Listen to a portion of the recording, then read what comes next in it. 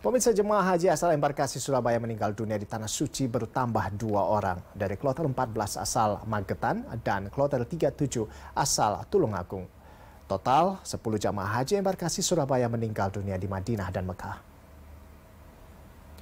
Berdasarkan data Sistem Informasi dan Komputerisasi Haji Terpadu, Kementerian Agama Republik Indonesia memasuki hari ke-19 operasional penyelenggaraan ibadah haji 2023 Total sebanyak 40 orang jamaah meninggal dunia di Mekah dan Madinah.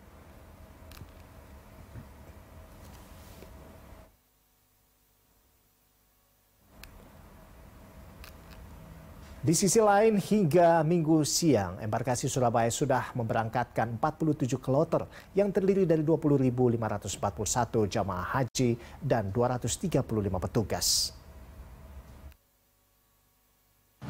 Yang meninggal dunia uh, memang embarkasi Surabaya ini terbanyak seluruh Indonesia yang meninggal dunia. Yang meninggal dunia itu di uh, di Madinah ada tujuh orang yang meninggal dunia, uh, meninggal dunia di Mekah ada tiga orang, sehingga totalnya